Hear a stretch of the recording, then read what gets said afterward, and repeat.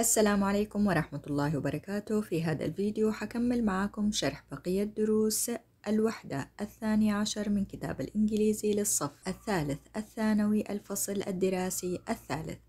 وقبل ما أبدأ بالفيديو بتمنى من كل اللي بيشاهد الفيديو إنه ينزل أسفل الفيديو ويشترك معايا في القناة.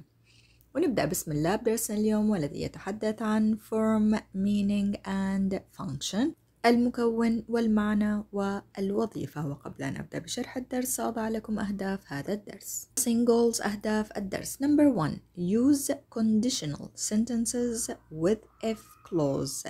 سنتعلم كيفية استخدام الجمل الشرطية مع عبارة if. Number two Use it's high time.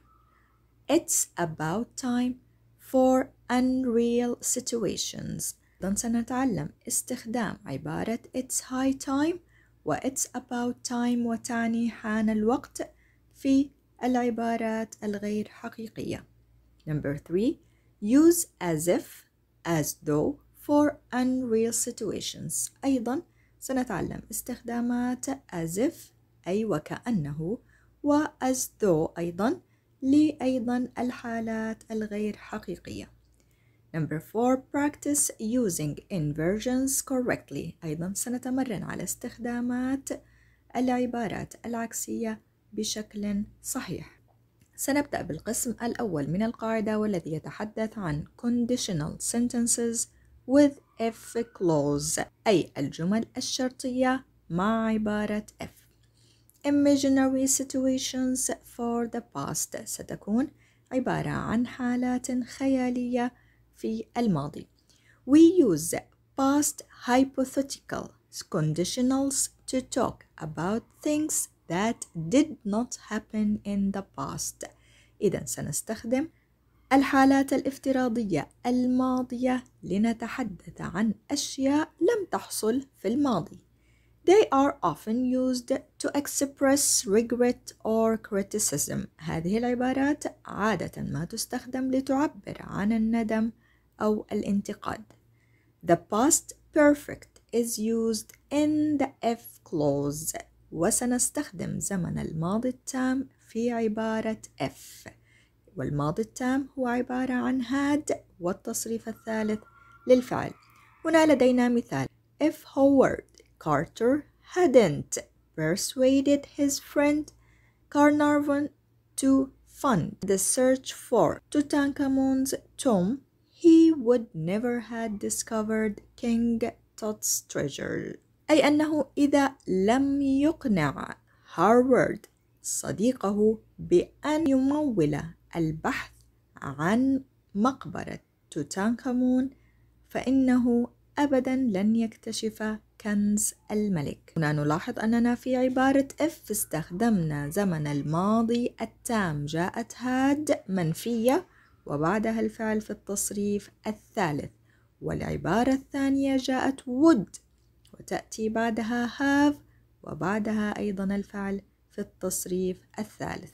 وبالاستعانة بعرض الأستاذة انتصار جزاها الله كل خير. نعطي أمثلة إضافية لتأكيد المعنى. أولا قلنا أن conditional sentence أو الجمل الشرطية نستخدم بها عبارة if وهي تتحدث عن أشياء لم تحصل في الزمن الماضي. وقلنا أن مع عبارة if يأتي زمن الماضي التام أي تأتي had والفعل في التصريف الثالث. والعبارة الثانية ستأتي بها would وبعدها have وبعدها أيضا الفعل بالتصريف الثالث. If you had called me I would have come. إذا اتصلت بي كنت سآتي. هنا نلاحظ مع عبارة if جاء زمن الماضي التام جاءت had والفعل called في التصريف الثالث. والعبارة الثانية جاءت بها would وبعدها have وبعدها أيضا الفعل في التصريف الثالث. ننتقل إلى القسم الثاني من القاعدة والذي يتحدث عن as if و as though for unreal situations. سنستخدم عبارة as if أو as though في الحالات الغير حقيقية. we can use as if and as though plus past or past perfect verb to suggest that something is unreal or untrue. إذا نستخدم هذه العبارة مع زمن الماضي أو الماضي التام لنقترح أن شيئا ما هو غير حقيقي وغير صحيح مثال على ذلك He talks as if he were an expert in the field. إذا هو يتحدث وكأنه خبير في هذا المجال. هنا نلاحظ مع عبارة as if جاء زمن الماضي. ونلاحظ أيضا أن where دائما نستخدمها مع جميع الضمائر. حتى مع الضمير he وshe وit وI مثال آخر. They act as though. They had not cheated on the test. إذا هو يتصرف وكأنه لم يغش في الامتحان. هنا استخدمنا عبارة as though والتي بمعنى أيضا as if ومعها الماضي التام. جاءت هاد منفية وبعدها الفعل في التصريف الثالث. إذا ولتأكيد المعنى قلنا أننا نستخدم عبارة as if أو as though مع الزمن الماضي أو الماضي التام كلاهما صحيح. وذلك لنقترح أن شيئا ليس حقيقيا وليس صحيحا. هنا لدينا مثال مع عبارة as if. She talks as if she knew everything. هي تتحدث وكأنها تعرف كل شيء. But she doesn't لكن الحقيقة أنها لا تعرف. إذا هنا نتحدث عن شيء غير حقيقي. وجاءت مع عبارة as if الزمن الماضي البسيط. مثال آخر. He seems as though he hadn't slept for days. هو يبدو وكأنه لم ينم لأيام. هنا أيضا استخدمنا عبارة as though. وجاء معها زمن الماضي التام. جاءت هاد والفعل في التصريف الثالث. وقلنا أيضا ملاحظة مهمة. أن where can be used instead of was in all persons. أي أننا نستخدم where بدلا من was مع جميع ضمائر الأفعال. He و she و it و they و we و you و I. جميعها نستخدم معها where في الزمن الماضي. لدينا هنا مثال. He looks as if he were rich. هو يبدو وكأنه غنيا. هنا نلاحظ أننا استخدمنا where مع أن ضمير الفاعل جاء هنا he. إذا where تستخدم مع جميع ضمائر الفاعل. ننتقل إلى القسم الثالث من القاعدة والذي يتحدث عن It's high time, it's about time for unreal situations. أيضا سنستخدم عبارة It's high time والتي أيضا بمعنى It's about time وكلاهما يعنيان حان الوقت. عندما نتحدث عن المواقف الغير حقيقية Use it's high time أو it's about time plus past simple to talk express criticism that something should have happened or should already have been done إذا سنستخدم هذه العبارة مع الماضي البسيط وذلك عندما نعبر عن الانتقاد أو أن شيئا ما يجب أن يكون قد حصل أو يجب أن يحصل بالفعل. لدينا هنا مثال. It's high time you found a job and earned a wage. إذا حان الوقت أن تجد عملا وتبدأ بكسب راتبا. It's about time you thought about the future. أيضا حان الوقت أن تفكر بالمستقبل. نلاحظ في هذه الجملة أن مع هذه العبارة يأتي الفعل في زمن الماضي البسيط. إذا قلنا أن هذه العبارة it's time أو it's high time أيضا it's about time وتعني حان الوقت دائما يأتي معها الماضي البسيط وتتحدث عن الحالات الغير حقيقية. لدينا هنا مثال It's time we went home. إذا حان الوقت أن نذهب إلى المنزل. نلاحظ أن الفعل جاء في الزمن الماضي. It's high time you got a job. أيضا حان الوقت أن تحصل على عمل. It's time you had a haircut. حان الوقت أي تقص شعرك.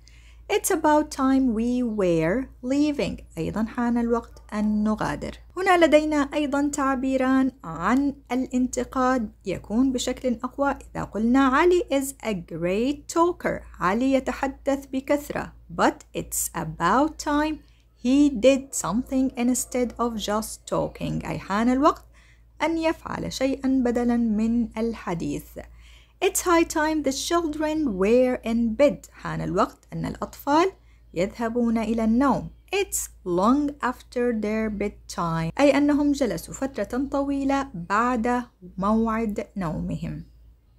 أيضا نلاحظ مع هذه العبارة مجيء الزمن الماضي البسيط. هنا لدينا بعض التمارين تطبيقا على هذه القاعدة. هنا المطلوب find the fib أي علينا أن نجد الخطأ في الجملة. He looks as if he know the answer. هو يبدو وكأنه يعرف الجواب. هنا جاء الفعل بصورته الأصلية أو في زمن المضارع. قلنا مع as if دائما يأتي زمن الماضي البسيط أو زمن الماضي التام. إذا التصحيح سنقول he looks as if he knew the answer أو he looks as if he had known the answer. السؤال الثاني It's time you tell me the truth حان الوقت أن تخبرني الحقيقة هنا قلنا مع عبارة it's time لا نقول tell إنما told me the truth السؤال الثالث If I had played better I would have when. لا نقول بعد would have when إنما يأتي الفعل في التصريف الثالث. إذا سنقول if I had played better I would have won وليس when.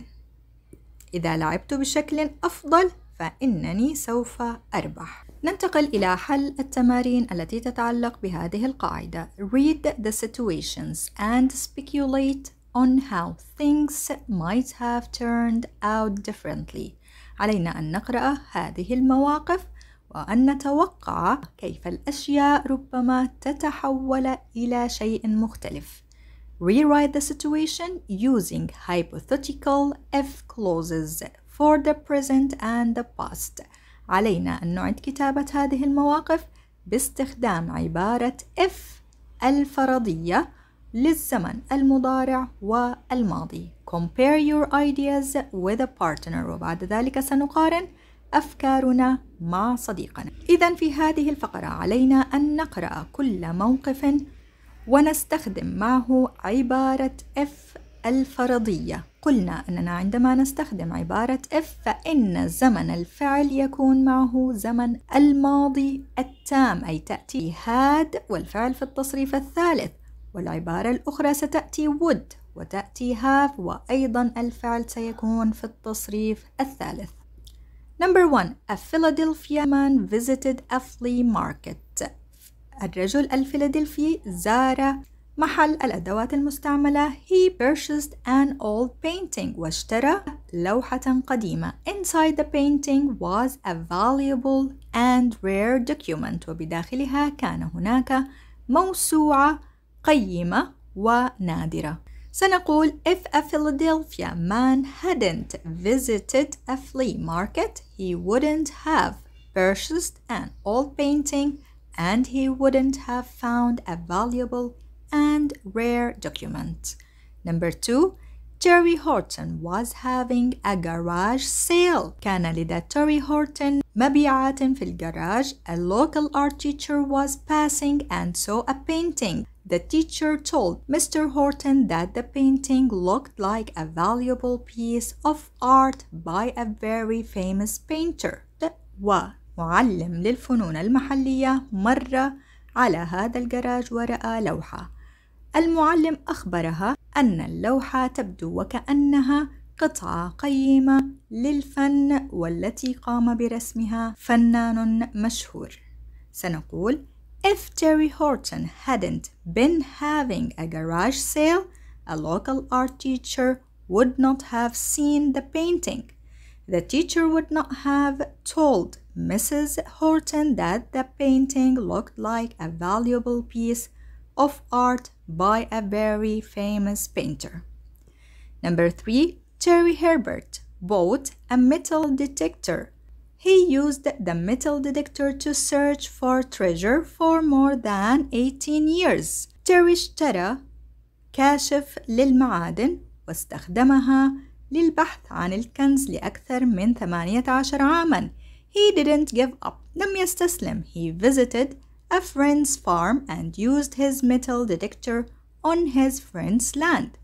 قام بزيارة مزرعة صديقه واستخدم هذا الكاشف في أرض صديقه. He found a lot of gold. وجد الكثير من الذهب. Archaeologists and historians learned a lot about England in the 5th century as a result. وعلماء الآثار والمؤرخون تعلموا الكثير عن إنجلترا في القرن الخامس كنتيجة. سنقول If Terry Herbert hadn't bought a metal detector, he wouldn't have found a lot of gold. إذا ما علينا أن نعرفه أنه في عبارة if دائما يأتي معها زمن الماضي التام. والعبارة الأخرى ستأتي would وبعدها have وبعدها الفعل في التصريف الثالث.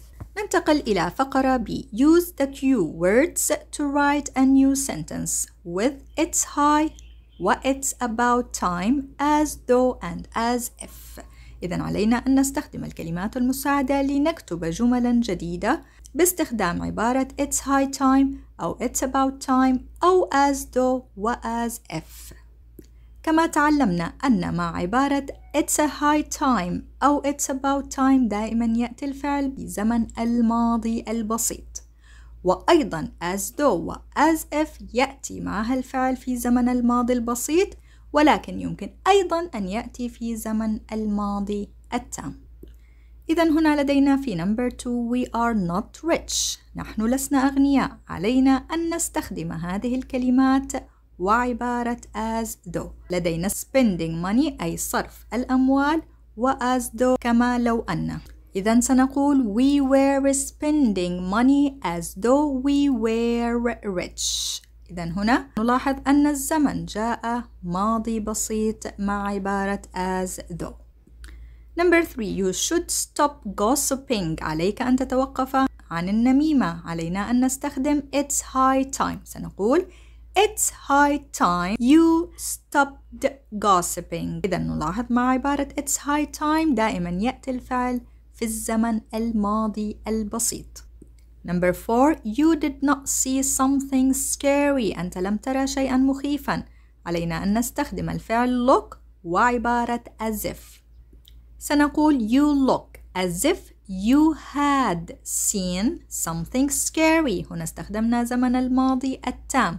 ممكن أن نقول أيضا you look as if you saw something scary نستخدم زمن الماضي البسيط للفعل see number five عادل is not an old man. عادل هو ليس رجلا كبيرا. علينا أن نستخدم الفعل walks وعبارة as though. إذا سنقول عادل walks as though he were an old man. هنا استخدمنا بعده زمن الماضي البسيط. ممكن أيضا أن نقول عادل walks as though he had been an old man. وبقية العبارات سنقوم بحلها بنفس الطريقة. هنا you're behaving as if you owned this house. إذا أنت تتصرف وكأنك تمتلك هذا المنزل. هنا مع as if جاء الفعل في الزمن الماضي ويمكن أيضا أن نكتبه في الزمن الماضي التام ونقول You had owned this house. Number seven, he speaks as if he had taken lessons in public speaking. هو يتحدث وكأنه يأخذ دروسا في محاضرات عامة. هنا بعد as if جاء ماضي تام ممكن أيضا أن نكتب الفعل في زمن الماضي البسيط ونقول as if he took lessons in public speaking. Number eight, Faris is talking as though he didn't need this job. فارس يتحدث وكأنه لا يحتاج هذا العمل. هنا بعد though جاء الفعل في الزمن الماضي البسيط ويمكن أيضا أن نكتبه في الزمن الماضي التام ونقول as though he hadn't needed this job. Number 9 It's about time my brother took better care of himself هنا استخدمنا عبارة It's about time قلنا دائما يأتي معها فقط زمن الماضي البسيط هنا جاء الفعل في الزمن الماضي البسيط. إذا حان الوقت أن يهتم أخي بنفسه. Number 10 She pretends as though she didn't start the rumor. هي تتظاهر وكأنها لم تبدأ الإشاعة. مع عبارة as though جاء الزمن الماضي البسيط ويمكن أن يأتي أيضا زمن الماضي التام ونقول as though she hadn't started the rumor. ننتقل إلى words connected with historical monuments. إذا الكلمات التي لها علاقة بالآثار التاريخية. Some words we often use to talk about historical monuments are. بعض الكلمات التي نستخدمها لنتحدث عن الآثار التاريخية هي كالتالي ancient قديم. Ethnographic هي كل ما يتحدث عن الثقافة والتقاليد للناس. Exquisite وتعني رائع extraordinary أيضا تعني شيء غير عادي priceless لا يقدر بثمن breathtaking مبهر legendary أسطوري tomb المقبرة exhibits عرض أو معرض artifacts الآثار lost treasures الكنز المفقود museum متحف art gallery معرض الفنون monuments الآثار archaeologists. أيضا الأشياء الأثرية historians المؤرخون Egyptologists علماء مصر king الملك queen الملكة pharaoh فرعون discover يكتشف preserve يحافظ photograph صور record تسجيل search يبحث وexhibit يعرض وريفيل يكشف. بين هذه الكلمات التي لها علاقة بالتاريخ والآثار. ننتقل إلى قاعدة inversions وهو الشيء العكسي Use the following expressions at the beginning of a sentence plus auxiliary plus subject to show emphasize إذا علينا أن نستخدم العبارات هذه في بداية كل جملة بالإضافة بعدها يأتي ال helping verb هنا ال auxiliary هي الأفعال المساعدة بعد الفعل المساعد سيأتي ال subject وهو الفاعل. إذا سنعكس ما بين ال subject والفعل المساعد. أننا نفعل انعكاس في الجملة أو عكس وهذا ما يدعى inversions. ونستخدم هذه العبارة كي نعطي شدة وقوة للجملة. إذا لدينا هذه الأمثلة. Not only did they find exquisite paintings but they also found furniture when they opened up the tomb لم يجدوا فقط لوحات رائعة لكن أيضا وجدوا أثاثا عندما فتحوا القبر. إذا هنا نلاحظ أننا استخدمنا عبارة not only بعدها جاء الفعل المساعد did وبعد الفعل المساعد جاء السبجكت وهو ضمير الفاعل they. عبارة أخرى No sooner had they decided to give up than they saw a sealed door leading to the tomb. لم يكادوا يقرروا الاستسلام حتى رأوا بابا مفتوحا يؤدي إلى المقبرة. هنا بعد عبارة no sooner جاء الفعل المساعد had وبعدها ضمير الفاعل they. في العبارات والجمل نقول دائما they had لكن هنا باستخدام inversions نبدل ما بين الفعل المساعد وضمير الفاعل Little did they know that they would find some steps buried under an ancient hut. قليلا لم يعلموا هم أنه يوجد بعض الخطوات الخطوات المدفونة تحت كوخ قديم أيضا نلاحظ عبارة little جاء بعدها الفعل المساعد did وبعدها ضمير الفاعل they في عبارة الانversions Not until I heard their story did I understand the hardships they must have suffered. ليس بعد أن سمعت قصتهم أنا تفهمت الصعوبات التي عانوا منها. أيضا بعد عبارة not until I heard the story نلاحظ وجود الفعل المساعد did وبعدها ضمير الفاعل I. On no account أو under no circumstances should they give up the search. ليس بأي حال ولا تحت أي ظروف. علينا أن نستسلم عن البحث. إذا هنا أيضا بعد هذه العبارة جاءت should وهو الفعل المساعد وبعدها ضمير الفاعل they. Seldom have I been so lost for words. نادرا ما أفقد الكلمات. أيضا بعد seldom جاء have الفعل المساعد وبعدها ضمير الفاعل I. Never have I seen something so remarkable. أبدا لم أرى أي شيء رائعا جدا. بعد never جاءت have الفعل المساعد وبعدها ضمير الفاعل I. إذا لنؤكد المعلومة to invert a sentence we put the adverbial for example never, rarely, not only, etc. at the beginning and change the normal position of the subject and the auxiliary verb. إذا كي نقوم بعكس الجملة علينا أن نضع هذه العبارات كما قلنا هذه العبارات جميعا في بداية الجمل. وبعد ذلك نعكس الترتيب الصحيح للجملة. الترتيب الصحيح عادة يكون subject وبعدها helping verb أو الفعل المساعد. لكننا سنعكس فيما بينهم. سنضع أولا الفعل المساعد وبعده السبجكت ومثال على ذلك not only did they arrive late but they talked throughout the film. ليس فقط هم وصلوا متأخرين ولكن تحدثوا خلال الفيلم. They not only arrived late but they talked throughout the film. هم ليس فقط وصلوا متأخرا ولكن أيضا تحدثوا خلال خلال الفيلم. عبارة أخرى. Rarely do we find such talent. نادرا ما نجد هذه الموهبة. We rarely find such talent هنا نلاحظ.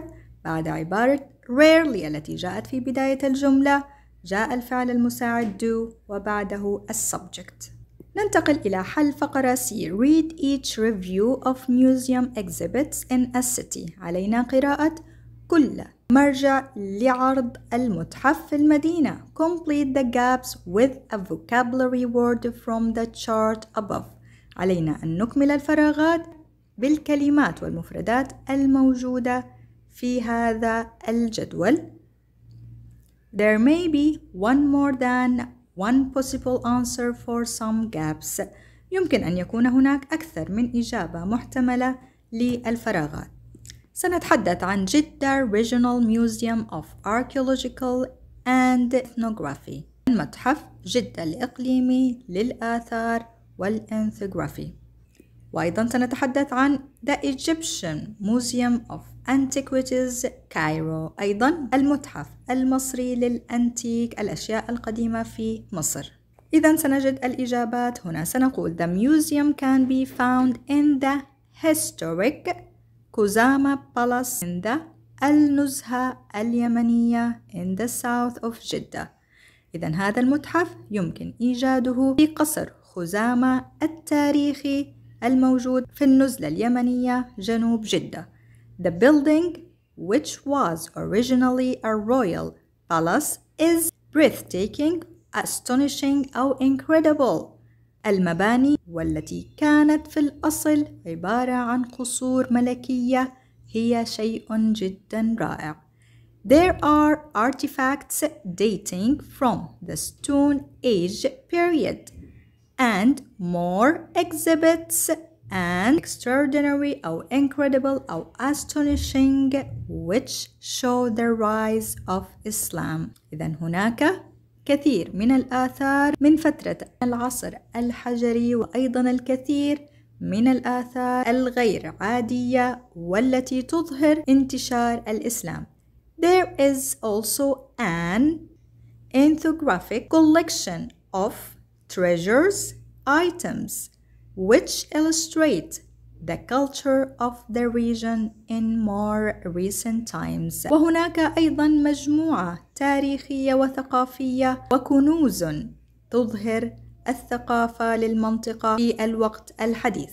The first section of the museum houses the lost treasures of Tutankhamun, the boy pharaoh of Egypt, who became a king which he was only nine of ten years old أول جزء في المتحف كان الكنز الضائع لتوتانكامون وهو الفرعوني لمصر والذي أصبح ملكا في عمر التاسعة أو العاشرة. There are gold masks, stunning jewelry, exquisite paintings and inlaid boxes and other objects of breathtaking أو astonishing أو incredible beauty and craftsmanship. كان هناك أقنعة ذهبية ومجوهرات رائعة وأيضا لوحات رائعة وصناديق مرصعة وأدوات أخرى أيضا رائعة الجمال.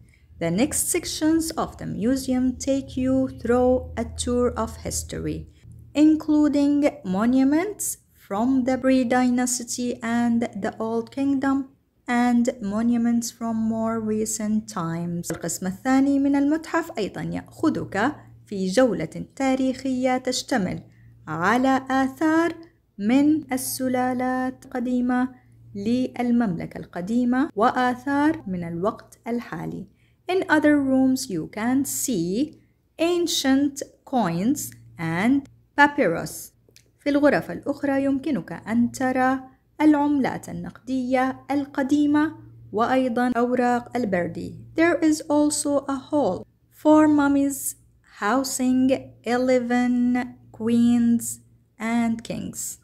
أيضا هناك قاعة للموميات المنازل والملكات الإحدى عشر والملوك ننتقل إلى فقرة دي rewrite the sentences in your notebooks using the words in parentheses. علينا أن نعيد كتابة الجمل في دفترنا الخاص باستخدام الكلمات الموجودة هنا بين الأقواس.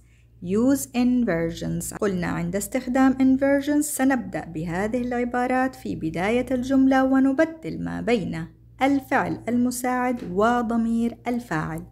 Number one علينا أن نستخدم circumstances وهي under no circumstances can you take photographs of any rooms or exhibits. ليس تحت أي ظرف يمكنك أن تأخذ صورا لأي غرف أو أي معرض. إذا هنا نلاحظ بعد هذه العبارة جاء الفعل المساعد وبعده ضمير الفاعل.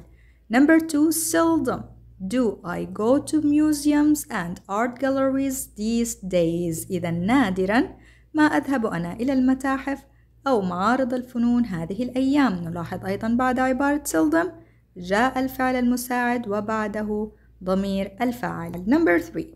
No sooner had Ali and Ahmed arrived when the seminar finished. بالكاد أو لم يكد أحمد وعلي أن يصلوا عندما انتهى السمينار Number four, not only did the ancient Egyptians know about the medical use of oils, but they also knew about كحول. ليس فقط المصريين القدامى عرفوا عن استخدامات الطبية للزيوت ولكن أيضا عرفوا عن الكحول هنا نلاحظ بعد عبارة not only جاء الفعل المساعد وبعده الفاعل. Number five On no account must you touch anything. ليس بأي حال يجب عليك أن تلمس أي شيء. بعد هذه العبارة جاء الفعل المساعد must وبعده ضمير الفاعل you. هنا في عبارة الإنفيرجن علينا أن نرتبها. أولا سنبدأ بالادverbial أو الكلمات هذه. Seldom. وبعدها الفعل المساعد وسيكون has بعد has الفاعل وهو the boss. وبعد ذلك نكمل been so upset. إذا سنقول seldom has the boss been so upset. عبارة أخرى أيضا سنبدأ بالseldom وبعدها الفعل المساعد has. بعد has ضمير الفاعل she.